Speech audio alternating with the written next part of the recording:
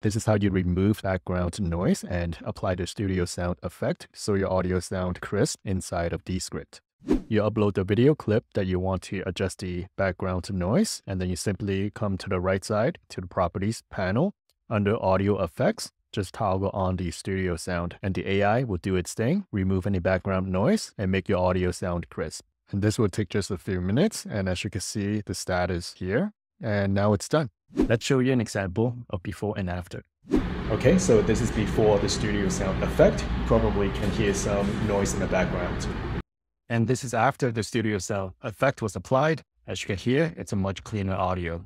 And there you have it. That's how you can apply the studio sound effect and remove any noise in the background in Descript.